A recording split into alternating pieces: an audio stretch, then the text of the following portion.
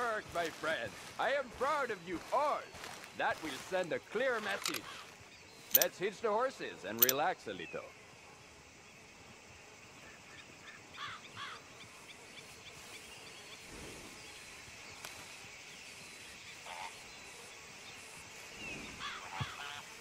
Come on, gather round the fire. I have something to say.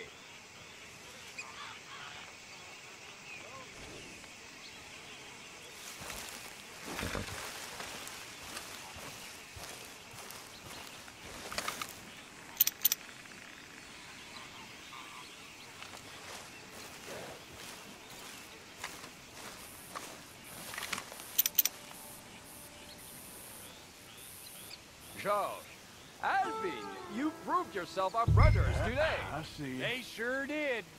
And make no mistake, these are not heinous acts.